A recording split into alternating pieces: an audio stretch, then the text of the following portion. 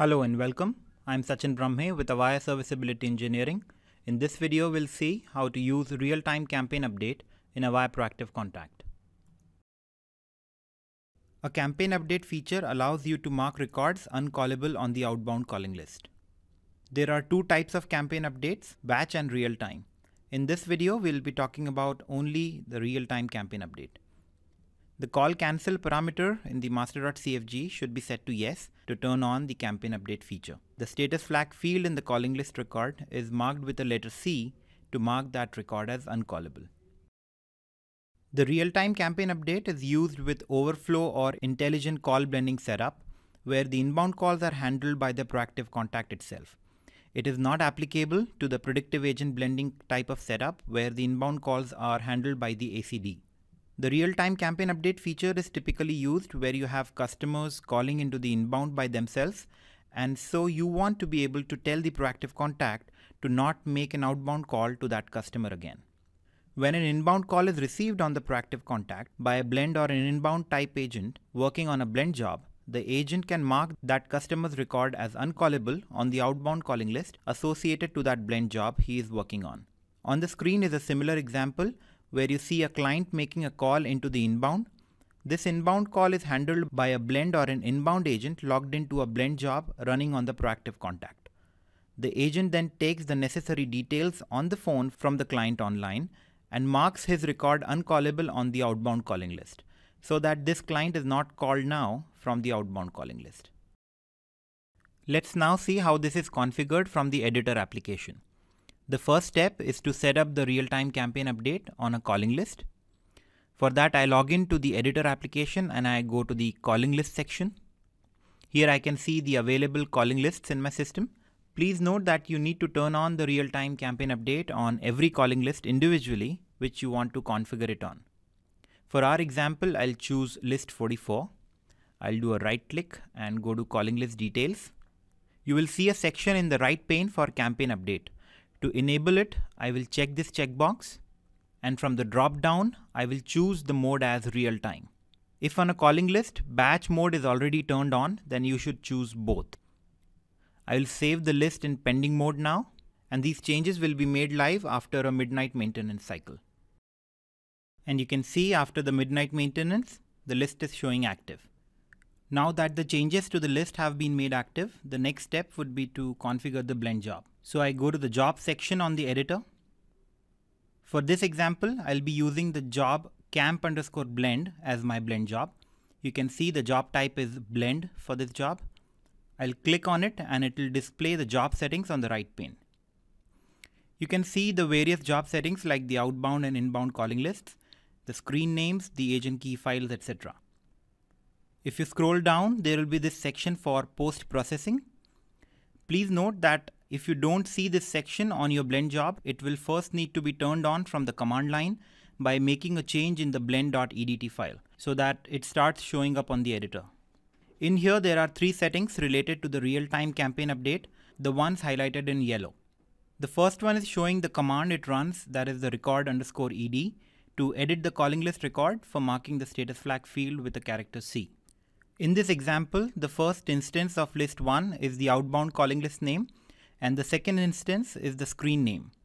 The screen name showing here may or may not be the same as you used for the outbound screen on your job. But this screen must contain the mention of the unique key field, which is the account number for this example. The next setting is the criteria. This tells which completion code should the agent release the inbound call with so that it triggers the record underscore ed process to search that customer's record on the outbound calling list and mark it as uncallable. So for this example, the completion codes mentioned here are 21 and 22. You can have one or more than one completion codes here separated by commas. The next setting tells which key field to be used to search the customer's record in the outbound calling list. And as we discussed, it's the account number for this example. So to summarize, what these three settings are telling you is that when an inbound or a blend agent working on this blend job receives an inbound call, the customer narrates the account number over the phone to the agent. The agent populates that account number on his screen and then releases the call with either completion code 21 or 22. This triggers the record underscore ed, which searches for this account number on the outbound calling list associated to the blend job and if that account number is found, it marks the status flag with the character C to make it as uncallable. Another important setting is the lines or the regs that you associate to your blend job. As you can see for this job, it is one outbound and one inbound reg. If you are having more than one blend job running, it is always a good idea to distribute your line pools so that different blend jobs are using different line pools. Let's talk about this briefly. On the screen, you have two examples of the inbound calls coming to the two blend jobs. If you are running multiple blend jobs and you want the real-time campaign update to be run simultaneously on multiple calling lists, then it is best to have the inbound line pools separated on the ACD. The example on the left of the screen is showing the same thing. There are two inbound line pools, 1 and 2, separately coming from the ACD, and then the two blend jobs are using them separately as INB1 and INB2. And the two blend jobs are running with their own calling lists, INBND1 and INBND2. So if a call comes into the line pool 1, it will land on the blend job 1 and so the campaign update can be run to mark the outbound list of blend job 1. And similarly, if it comes to line pool 2, the campaign update will mark the outbound list of blend job 2. So basically you have identified separate inbound line pools for separate blend jobs. Now on the other example on the right of your screen, there is only one inbound line pool. So incoming calls can go to either of the two blend jobs there will be no control as to which job should take the inbound call that comes in. So let's say if a customer whose record is present on the outbound calling list 2, if he calls in and by chance the inbound call comes into the blend job 1, the campaign update will search for the record in the outbound calling list 1 only. It will not check it in the list 2. So this way that customer's record will remain untouched on list 2 and will not be marked as uncallable and so it can then get called out from the blend job 2. Hence, it is best to have the inbound line pools set up in a way that the inbound line pools are separated and are assigned to separate blend jobs.